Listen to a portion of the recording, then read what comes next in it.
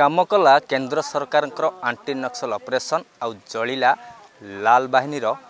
uniform ଆଉ ଭାଙ୍ଗୁଛି ଲାଲ ଦୁର୍ଗ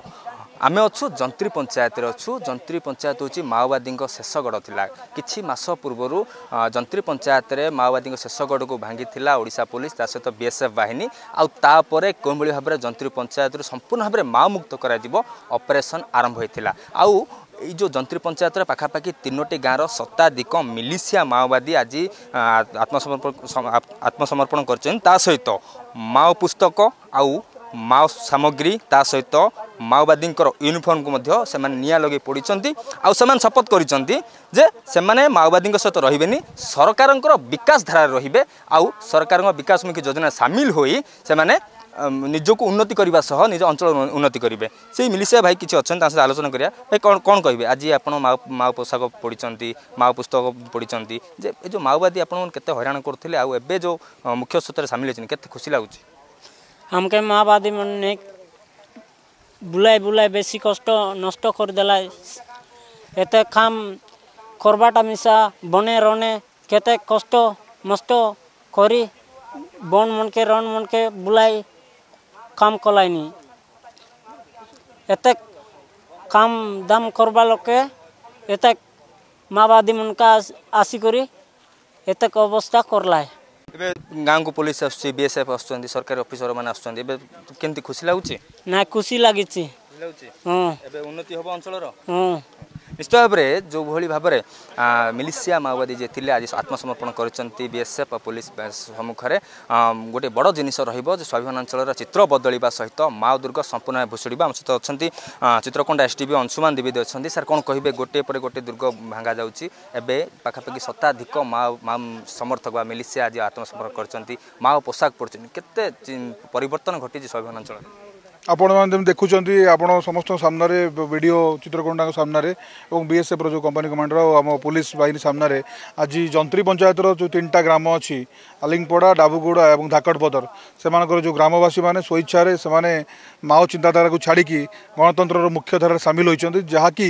আমার সরকার বিকাশ ধারাকে সূচাউছি আপনার দেখিথে এটি বিভিন্ন জায়গায় বিএসএফ ক্যাম্প মানে হচ্ছে যন্ত্রের মধ্যে বিএসএফ ক্যাম্প এই কম দিন তলে বর্তমান এস্টাবলিশ হয়েছি এবং সরকার যে বিকাশমূলক কার্যক্রমকে সে লক্ষ্য রাখিকি সে নিজ মাও চিন্তাধারাকে ছাড়িকি আজ সে আমার মুখ্যধারার সামিল হয়েছেন যা কি বহুত গোটে মানে মানে গর্বর বিষয় আমার বহুত খুশির বিষয় মধ্যে सर जन्ती पंचायत कथा कठान अञ्चल माओवादी अहिले जो लोक मैले धीरे धीरे पुलिस सहित बा प्रशासन सहित सहयोग आमिल हुन्छ त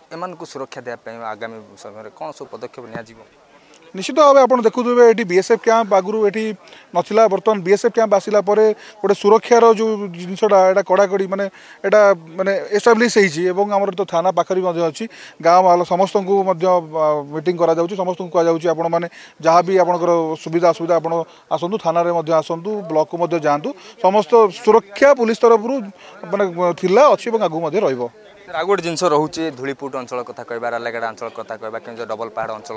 ଆନ୍ଧ୍ରପ୍ରଦେଶରୁ ଯେଉଁ ମାଓବାଦୀ କିଛି ଆସିକି ସେ ଚଳପ୍ରଚଳ ରହିଛି କିଛି ଆତଙ୍କ ମଧ୍ୟ ଦେଖାଉଛନ୍ତି ସୀମାନ୍ତ